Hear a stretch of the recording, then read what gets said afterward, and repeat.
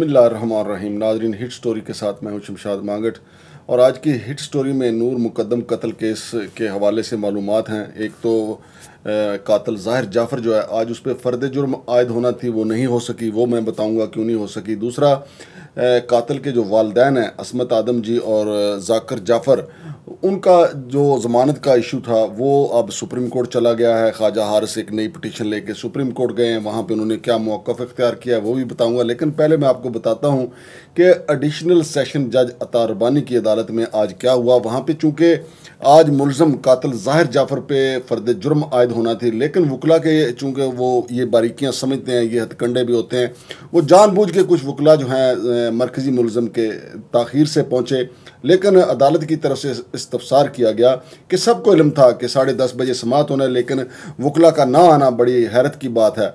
लेकिन फिर कुछ देर के बाद जब 11 बजे का टाइम रखा गया तो फिर मुलम ज़ाहिर जाफ़र के जो वकला हैं वो अदालत में पहुँचे और उनकी तरफ़ से तीन मुख्तलिफ़ दरख्वास्तें दायर कर दी गई। और उन दरख्वास्तों में कहा गया है कि मुलजम को फेयर ट्रायल दिया जाए और फिर ये कि जो चलान पेश किया गया है, उसके साथ जो दस्तावेज़ात हैं, वो हमें फ्राहम नहीं की गई। मकसद ये था कि आज फ़र्द जुर्म आयद ना हो।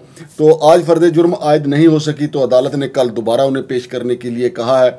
वहाँ अदालत में जब इसकी समात जारी थी तो उसने अदालत से कहा कि मुझे बताया जाए कि अदालत का अगला प्लान क्या है। तो फाजिल जाय साहब ने यह कहा कि अदालत का प्लान नहीं होता अदालत कार्रवाई करती है। और आपने जो बात करनी होती है, अपने वकील के ज़रिए करें और अदालत अपनी जो समात है, वो आपके वकला को बताएगी आगे हमने क्या करना है और क्या होगा, जो भी होगा आपके सामने होगा। इस पे मुलजम का ये भी कहना था कि मुझे आज़ादाना बोलने का मौका दिया जाए जिस पे अदालत ने उनको कहा कि आप अपने वकील के ज़रिए बोलें और जो आप आप, आप अपने वकील को बताएँगे वो वही बात करेंगे।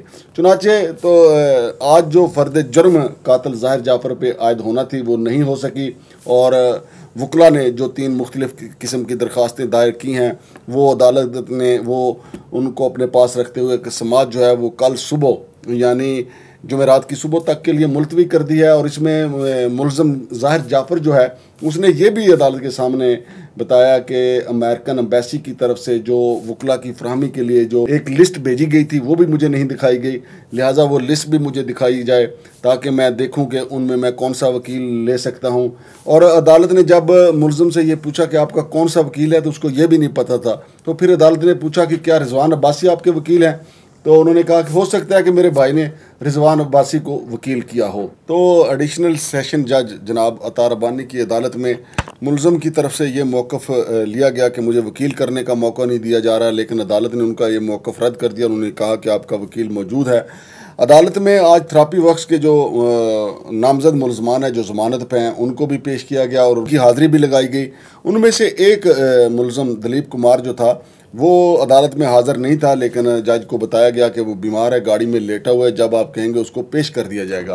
तो नाजरीन, दूसरी तरफ़ ख्वाजा हारस जो कातल ज़ाहिर जाफ़र के वकील हैं, उन्होंने आज सुप्रीम कोर्ट में दरख्वास्त दायर किया, जिसमें उन्होंने इस्लामाबाद हाई कोर्ट का फ़ैसला चैलेंज किया और ये कहा है कि इस्लामाबाद हाई कोर्ट ने वह तमाम हकायक और शवाहद सामने नहीं रखे। अगर वो हकायक और शवाहद को सामने रखते तो असमत आदम जी और जाकर जाफ़र की ज़मानत हो सकती थी, जो बुनियादी नुकता उनकी तरफ़ से उठाया गया है कि कातल ज़ाहिर जाफ़र के वालदेन हैं। जाकर जाफ़र और असमत आदम जी कि वो अयानत जुर्म में नहीं है, क्योंकि मुलजम ने उनको वकूआ का बताया था। लेकिन इससे पहले एडिशनल सेशन जज अतार बानी ने भी ये दरख्वास्त मुस्तरद की थी, उनकी ज़मानत की, फिर इस्लामाबाद हाई कोर्ट ने भी मुस्तरद की। और दोनों अदालतों में जो मुश्तर जो मौक़ सामने आया था, वो ये था कि अदालत के सामने वकी पुलिस की तरफ़ से जो शहादतें, जो सबूत पेश किए गए हैं, उसके मुताबिक मुलजम जो है, वो अपने माँ बाप के साथ रबते में था। बल्कि इस्लामाबाद हाई कोर्ट की तरफ़ से तो यहाँ तक कह गया कि मुलजम अपने माँ बाप से रबते में था। ज़ाहिर है वो उनसे मौसम की सूरत हाल पर बात नहीं कर रहा था, बल्कि नूर मुकदम से मुतल की बात कर रहा था। लिहाजा वो तमाम हकैक शवाहद जो पुलिस ने बताया, पुलिस ने उनको ये भी बताया कि नूर मुकदम के मोबाइल की स्क्रीन टूटी हुई थी। लिहाजा उसका भी रिकॉर्ड हासिल करना है। और ये कि मुलजम ने खुद एतराफ़ किया कि जब लड़की ने शादी से इनकार किया, नूर मुकदम ने शादी से इनकार किया तो मैंने उसको कत्ल कर दिया और फिर अपने वालदेन को बताया। और फिर सबसे बड़ा सबूत कि मुलम के वालदेन ने थेरापी वर्क्स वालों को कहा कि जाके लाश को ठिकाने लगा दें। और ये बयान थेरापी वर्क्स वालों की तरफ़ से आया कि हमें ये कहा गया था।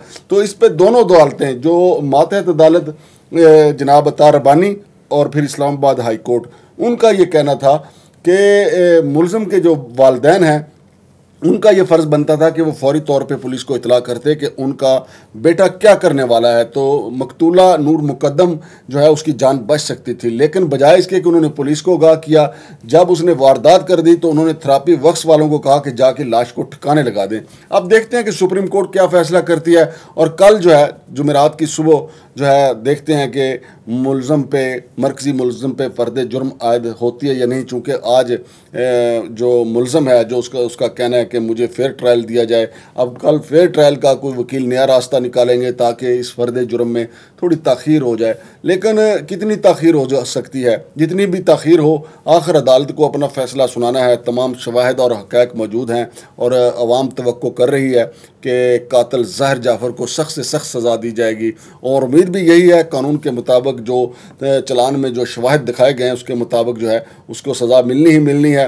अलबत् वकला जो हैं, वो थोड़ा दरख्वास्तों के ज़रिए इधर उधर करके थोड़ा सा फ़र्द जुर्म में तखीर कर सकते हैं।